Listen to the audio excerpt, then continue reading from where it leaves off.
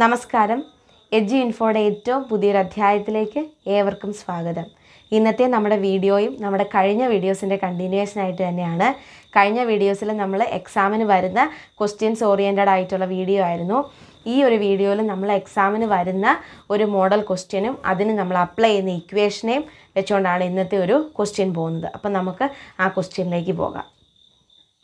അപ്പോൾ ഞാൻ ഒരു ക്വസ്റ്റ്യൻ ബോർഡിൽ എഴുതിയിട്ടുണ്ട്. ഇത് നമ്മുടെ ടെക്സ്റ്റ് ബുക്കിലുള്ള ഒരു ക്വസ്റ്റ്യൻ ആണ്. അതുപോലെ തന്നെ ഇത് പ്രീവിയസ് ക്വസ്റ്റ്യൻ പേപ്പേഴ്സിലൊക്കെ വന്നിട്ടുള്ള ഒരു ടൈപ്പ് ഓഫ് ക്വസ്റ്റ്യൻ ആണ്. അപ്പം ഈ ക്വസ്റ്റ്യൻ വളരെ സിമ്പിളായിട്ട് നമുക്ക് ചെയ്യാവുന്നതേ ഉള്ളൂ. അപ്പോൾ ക്വസ്റ്റ്യൻ എന്താണെന്ന് നമുക്കൊന്ന് നോക്കാം. ഏഴ് കൊണ്ട് ഹരിക്കുമ്പോൾ ശിഷ്ടം മൂന്ന് വരുന്ന മൂന്നക്ക സംഖ്യകളുടെ എണ്ണം കണ്ടുപിടിക്കാനാണ് പറഞ്ഞിരിക്കുന്നത്. അതായത് ഏഴ് കൊണ്ട് നമ്മൾ ഹരിക്കുന്ന മൂന്നക്ക സംഖ്യ മൂന്നക്ക സംഖ്യകൾ എവിടം തൊട്ടാണ് തുടങ്ങുന്നത്? മൂന്നക്ക സംഖ്യകൾ ഏറ്റവും ചെറിയ മൂന്നക്ക സംഖ്യ എന്ന് പറയുന്നത് നൂറാണ്. അല്ലേ?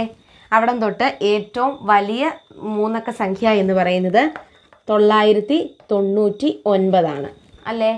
അപ്പം ഈ നൂറിനും തൊള്ളായിരത്തി തൊണ്ണൂറ്റി ഒൻപതിനും ഇടയിൽ ഏഴ് കൊണ്ട് ഹരിച്ചാൽ ശിഷ്ടം മൂന്ന് കിട്ടുന്ന സംഖ്യകളുടെ ഒരു ശ്രേണിയുണ്ട്. ആ ശ്രേണി നമ്മൾ എഴുതണം. ആ ശ്രേണി നമ്മൾ എഴുതിയിട്ട് ആ ശ്രേണിയിൽ എത്ര സംഖ്യകളുണ്ട് എന്നുള്ളതാണ്. ആ സംഖ്യകളുടെ എണ്ണമാണ് നമ്മളോട് കണ്ടുപിടിക്കാൻ വേണ്ടി പറഞ്ഞിരിക്കുന്നത്. അപ്പം ഒരു സമാന്തര ശ്രേണിയിലെ അല്ലെങ്കിൽ ഒരു അരിത്തമെറ്റിക് സീക്വൻസിലെ മുഴുവൻ സംഖ്യകളുടെ എണ്ണം അല്ലെങ്കിൽ മുഴുവൻ പദങ്ങളുടെ എണ്ണം കണ്ടുപിടിക്കാനോ അല്ലെങ്കിൽ total number of terms in an arithmetic sequence എന്നുള്ളൊരു ക്വസ്റ്റ്യൻ ചോദിച്ചാലോ നമ്മൾ അവിടെ അപ്ലൈ ചെയ്യേണ്ട ഒരു ഇക്വേഷൻ ഉണ്ട്. ആ ഇക്വേഷനാണ് N is equal to X N minus X one divided by D plus one ഇതാണ് ഇക്വേഷൻ നോക്കിക്കേ. X N minus X one by D plus one ഇവിടെ എക്സ് എൻ എന്നതുകൊണ്ട് ഉദ്ദേശിക്കുന്നത് ഇപ്പം ഈ ശ്രേണിയിൽ ഞാൻ പറഞ്ഞില്ലേ ഈ നൂറ് തൊട്ട് തൊള്ളായിരത്തി തൊണ്ണൂറ്റി ഒൻപത് വരെ ഏഴ് കൊണ്ട് ഹരിച്ചാൽ ശിഷ്ടം മൂന്ന് വരുന്ന സംഖ്യകളുണ്ടെന്ന് പറഞ്ഞില്ലേ? അപ്പം അങ്ങനെ കിട്ടുന്ന സംഖ്യകളിൽ ആ പദത്തിലെ ഏറ്റവും അവസാനത്തെ പദമാണ് എക്സൻ എന്നതുകൊണ്ട് ഉദ്ദേശിക്കുന്നത്. ഈ ശ്രേണിയിലെ ഏറ്റവും അവസാനത്തെ പദമാണ് എക്സൻ എന്നതുകൊണ്ട് ഉദ്ദേശിക്കുന്നത്. എക്സ് വൺ എന്ന് പറഞ്ഞാൽ ആ ശ്രേണിയിലെ ആദ്യത്തെ പദം.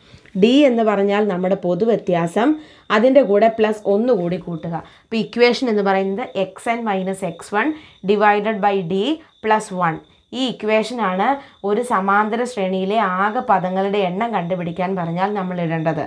അതായത് the total number of terms in an arithmetic sequence എന്നുള്ളൊരു ക്വസ്റ്റ്യൻ വന്നാൽ ഈ ഇക്വേഷൻ ഉപയോഗിച്ചാണ് നമ്മൾ പ്രോബ്ലം സോൾവ് ചെയ്യേണ്ടത്. അപ്പോൾ നമുക്ക് ഈ ക്വസ്റ്റ്യൻ എങ്ങനെയാണ് വർക്കൗട്ട് ചെയ്യുന്നതെന്ന് ഒന്ന് നോക്കാം. നമുക്ക് ഈ ക്വസ്റ്റ്യൻ എങ്ങനെയാണ് വർക്കൗട്ട് ചെയ്യുന്നതെന്ന് ആദ്യം നോക്കാം.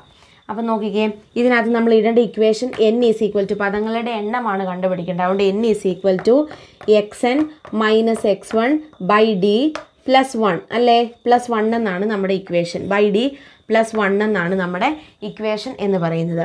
അപ്പം എക്സ് എൻ എന്ന് പറഞ്ഞാൽ ഏഴ് കൊണ്ട് ഹരിക്കുമ്പോൾ ശിഷ്ടം മൂന്ന് വരുന്ന സംഖ്യ. തൊള്ളായിരത്തി തൊണ്ണൂറ്റി ഒൻപതിനെ ഹരിച്ചു നോക്കണം.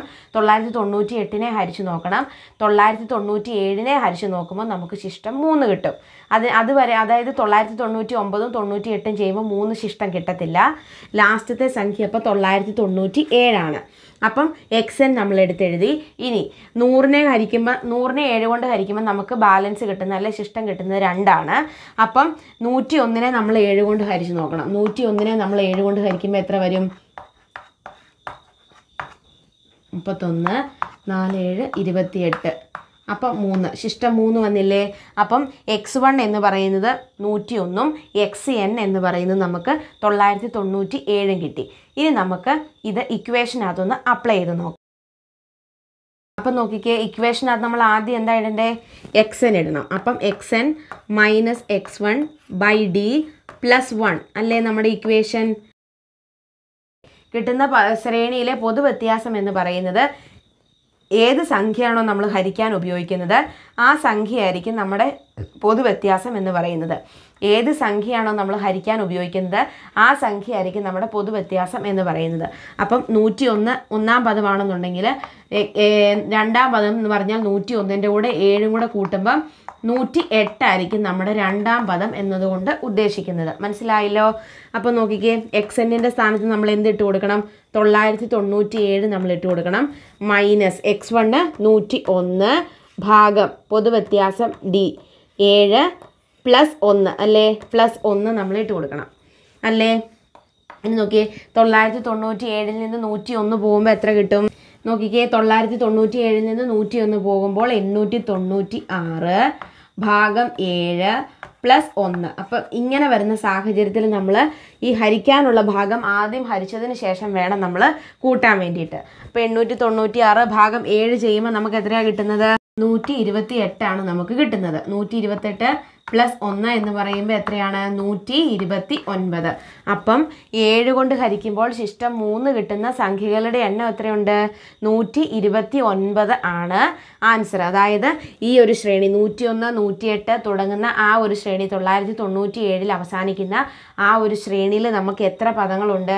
നൂറ്റി ഇരുപത്തി ഒൻപത് പദങ്ങൾ നമുക്കുണ്ട്. അപ്പം ഇങ്ങനെ ഒരു ക്വസ്റ്റ്യൻ വന്നാൽ നമ്മൾ അവിടെ അപ്ലൈ ചെയ്യേണ്ട equation X N minus X one by D plus one എന്ന് പറയുന്ന ഇക്വേഷനാണ് നമ്മൾ ആ സാഹചര്യത്തിൽ നമ്മൾ അപ്ലൈ ചെയ്ത് ആൻസർ കണ്ടുപിടിക്കുന്നത്. ഇനി നമുക്ക് നമ്മുടെ പാഠപുസ്തകത്തിലത്തെ ഒരു ക്വസ്റ്റ്യൻ നോക്കാം. പേജ് നമ്പർ ഇരുപത്തിനാലിൽ ഒന്നാമത്തെ ക്വസ്റ്റ്യൻ ആണ് ഞാൻ വായിക്കുന്നത്. ഒരു സമാന്തര ശ്രേണിയിലെ എട്ടാം പദം പന്ത്രണ്ടും പന്ത്രണ്ടാം പദം എട്ടുമാണ്. ഈ ശ്രേണിയുടെ ബീജഗണിത രൂപം എന്താണ് എന്നാണ് നമ്മളോട് ചോദിച്ചിരിക്കുന്നത്. അപ്പം നമുക്ക് എന്തൊക്കെയാണ് തന്നിരിക്കുന്നത്? ഈ ക്വസ്റ്റിനകത്ത് എട്ടാം പദം പന്ത്രണ്ടാണെന്ന് തന്നിട്ടുണ്ട്. അതുപോലെ പന്ത്രണ്ടാം പദം എട്ടാണെന്നും തന്നിട്ടുണ്ട്. അത് നമുക്ക് ആദ്യം ബോർഡിലാക്കി ഒന്ന് എഴുതാം. അതായത് എട്ടാം പദം പന്ത്രണ്ട്. എക്സ് എട്ട് സമം പന്ത്രണ്ട്. അതുപോലെ തന്നെ എക്സ് പന്ത്രണ്ട് സമം എട്ടാണെന്ന് നമുക്ക് തന്നിട്ടുണ്ട്.